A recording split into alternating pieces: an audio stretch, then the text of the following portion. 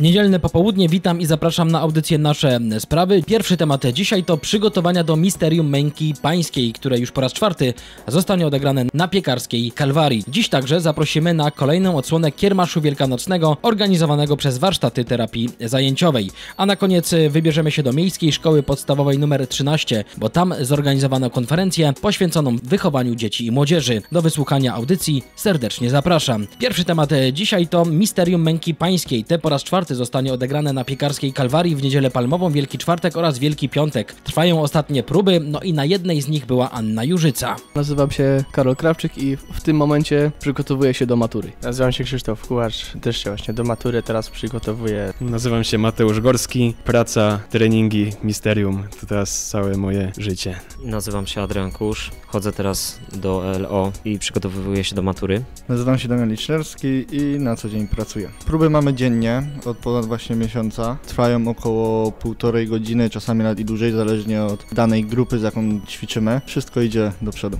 Choćby mi przyszło umrzeć z tobą, nie wyprę się ciebie! Wszyscy zwątpicie we mnie! Choćby wszyscy zwątpili, to ja nigdy! Próby trwają około 6 tygodni, licząc jeszcze te dwa tygodnie, które pozostały do premiery Misterium. Godzina dziennie, dzień w dzień, to naprawdę mnóstwo czasu. Jesteście młodymi ludźmi, warto poświęcać ten czas. Wszyscy jesteśmy zgodni, że warto. Widzimy, że nasze dzieło jest duże, że jest dość znane, popularne. Wiele ludzi z całego Śląska, całe autokary do nas przyjeżdżają. Jesteśmy wszyscy zgodni oraz pewni tego, że naprawdę to przedsięwzięcie jest warte całego wysiłku, który poświęcamy. Jest to głębsza refleksja z tego powodu, że mamy ten kontakt z Bogiem, z ludźmi. Rozmawiamy razem, spędzamy razem czas i wydaje mi się, że to jest dobrze spędzony czas. Jest to na pewno piękna forma rekolekcji, gdy próbujemy przybliżyć wszystkim ludziom to, jaka była ta historia, jak ona wyglądała, sami ją bardzo dobrze poznajemy. I właśnie, aby dobrze ją przekazać ludziom, aby dobrze to zobrazować, sami ją musimy bardzo dobrze poznać i myślę, że nam się to udaje. Ojcze, chcę, aby także ci, których mi dałeś, byli ze mną tam, gdzie ja jestem, aby widzieli chwałę moją, którą mi dałeś. Młodzi ludzie, tacy jak wy, to nie zawsze mają po drodze z kościołem, a wy tutaj się tak mocno angażujecie. Wasi koledzy, rówieśnicy są zdziwieni tym waszym zaangażowaniem? Niektórzy z naszych kolegów właśnie dziwią się, że poświęcamy tyle czasu na misterium. Tą pracę, którą tutaj wykonujemy, to jest charytatywnie, za darmo. Nie pobieramy za to żadnych pieniędzy. Są bardzo zdziwieni. Jest to dla nas forma też modlitwy. Czy w tym roku szykują się jakieś zmiany w scenariuszu? Coś nas zaskoczy? W scenariuszu nic nowego nie przybędzie, jednak trochę się skrócą te najdłuższe sceny. Zmieni się trochę scenografia, kilka nowości, pokazania w lepszym stylu pałacu na przykład od Heroda. Druga odsłona audycji Nasze Sprawy, witam e, ponownie. Kiermasz Wielkanocny organizowany przez warsztaty terapii zajęciowej. To już tradycja w piekarach śląskich, a z kierowniczką warsztatów i uczestnikami rozmawiała Gabriela Kokot-Drzyzga. Od świąt do świąt tak troszeczkę jest w warsztatach terapii zajęciowej w piekarach śląskich.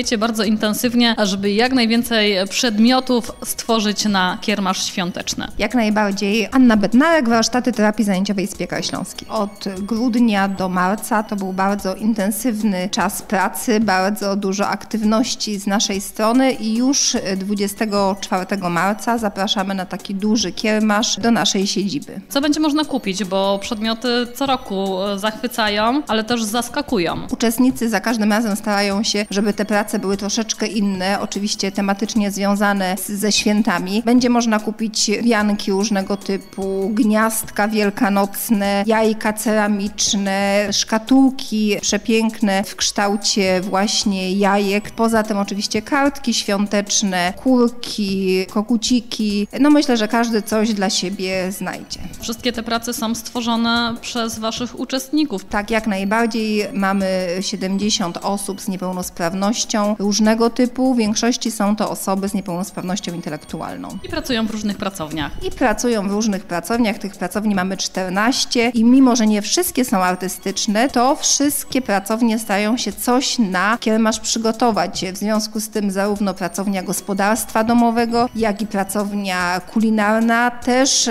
dorzucają swoje wytwory tak na, na kiermasz. Ten główny kiermasz przypada 24 marca u Was w siedzibie, ale wiem, że również e, kiermasz pojawi się w wielu innych miejscach. Jak najbardziej, już byliśmy w Bibliotece Śląskiej w Katowicach. 22 marca jesteśmy w Urzędzie Marszałkowskim. 23, czyli w piątek, mamy taką prezentację połączoną z kiermaszem na Forum Kobiet w Piekarach. 24 u nas i 26 myślę, że w Urzędzie Miasta. Serdecznie zapraszamy 24 marca w sobotę od godziny 9 do 12 do warsztatów terapii zajęciowej w Dąbrówce Wielkiej przy ulicy Przyjaźni 48. No jest trochę pracy, jest jeszcze trochę pracy. Jest tutaj dużo szlifowania. Jak widać jestem trochę pocięty, także wymaga no, dokładności i staranności. Co na kiermasz przygotowałaś? Kurki, aniołki. Dużo serca wkładacie w tę pracę?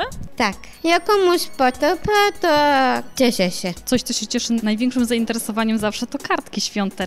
Jakie w tym roku będą kartki na kiermaszu? Wielkanocne, różne wzory, zajączki, kury, jajka. Się bardzo tym cieszymy, że kupują. My dużo mamy zamówienia akurat i bardzo dużo musimy się napracować.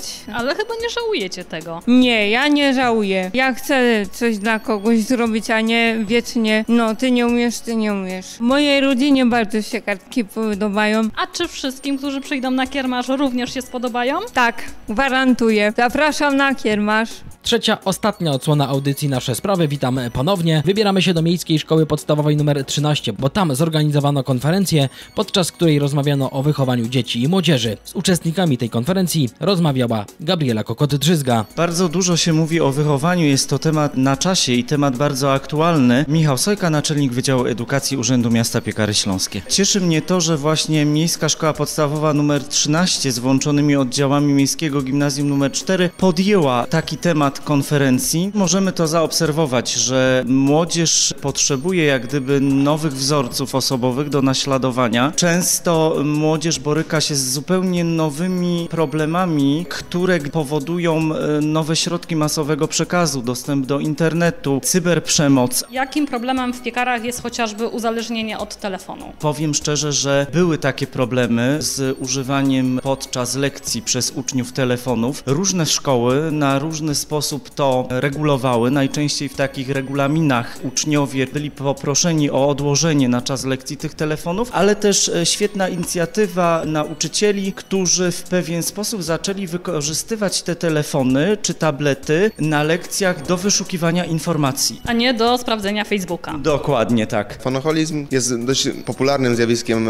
u młodzieży, ponieważ coraz młodsze dzieci dostają telefony do rąk. Wynika to z tego, że rodzice, jeżeli dadzą telefon dziecku, mają spokój i dziecko się zajmuje same sobą, ale to przynosi negatywne skutki. Słuchajcie, jak sobie z tym poradzić? Bo prawda jest taka, że pewnie wy również e, korzystacie z telefonów. Korzystam z telefonu prawie że codziennie, ale jako fonoholika się, no nie uważam, że jestem takim fonoholikiem. Nie przyznajecie się, ale zauważacie, że zjawisko istnieje. Tak, zauważamy, że zjawisko istnieje i jest dość dużym problemem. Na pewno w tutejszych szkołach teraz. Jaka jest e, recepta na to według was? Mniejszym dzieciom po prostu nie dawać telefonu, to powinno być jakoś regulowane przez rodziców. Kto ma wpływ na wychowanie? No rodzic. A szkoła? Szkoła również, ale głównie środowisko, w którym się wychowuje. Najczęściej to właśnie są rodzice i bliscy znajomi. To oni dają właśnie przykład. Bernadetta Nowak, Miejska Szkoła Podstawowa z włączonymi oddziałami Miejskiego Gimnazjum nr 4 w Piekarach Śląskich. W bieżącym roku szkolnym każda ze szkół w Polsce otrzymała zadanie polegające na roli wzmocnienia wychowania w polskich szkołach. My realizujemy to może nietypowo, ale bardzo naukowo, bardzo dużo rozmawiamy. Nie ukrywamy przede wszystkim trudności, zastanawiamy się, dyskutujemy. Myślę, że zmierzamy w dobrym kierunku, a wypowiedzi naszych uczniów mam nadzieję, że to potwierdzą. Słuchajcie, dzisiaj temat konferencji wychowanie, czyli o kształtowaniu człowieczeństwa i uczeniu się wartości. Jak będziecie interpretować e, ten temat, który jest równocześnie zadaniem Ministerstwa Edukacji? Będziemy głównie przedstawiać wychowanie na przestrzeni lat, jak się zmieniało, jak ludzie je pojmują i jak wychowują